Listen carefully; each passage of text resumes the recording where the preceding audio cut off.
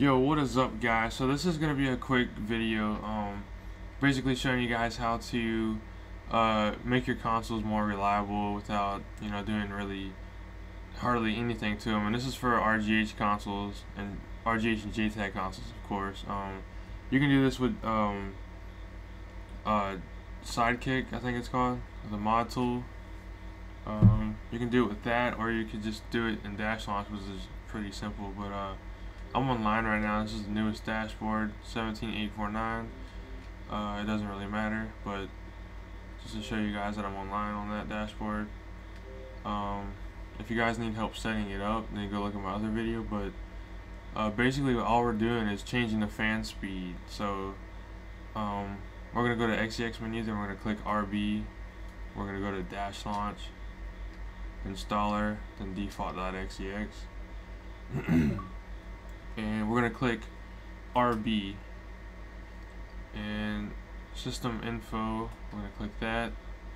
Then we're gonna scroll down two times or actually one two three and then it's gonna go over here then you're gonna go you're gonna go over right. And then I'm sure you can hear my fan speed getting louder.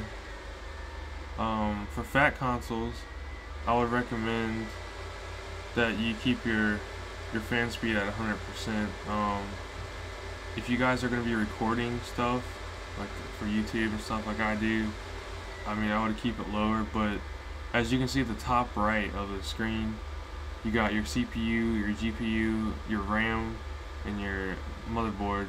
So, um, when it get when your GPU gets pretty hot, like mine is right now, mine's at 60C, and you know, probably Xenons and Zephyrs and Falcons, they're going to get a lot higher than that. They're going to get to like 69C and stuff like that. That's not good. And same for Slims. They're they're pretty they're not that good either um, for heat heat wise because Microsoft didn't make they didn't put a good fan in that console so um, you know they overheat too. Slims get red dot just as much as a, a Falcon does. Um, the most reliable console you can buy is a Jasper because they're the coolest. But um, for slim consoles, the lowest I would go is 70%, and then same thing for fats. I would I wouldn't go any lower than 70%. But um, uh, you know, if you guys don't want red ring of death, then I would keep it at 100%. And you guys, that's that's just gonna keep your console. Um, it's gonna keep it cool and it's going to keep the dust out.